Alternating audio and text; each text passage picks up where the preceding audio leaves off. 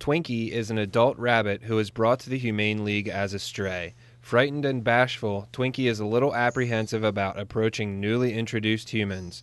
Twinkie is already spayed and ready to be welcomed into a calm home today. Twinkie is available for adoption at That Fish Place, That Pet Place, 237 Centerville Road. Biscuit, last week's cat, is still waiting for adoption.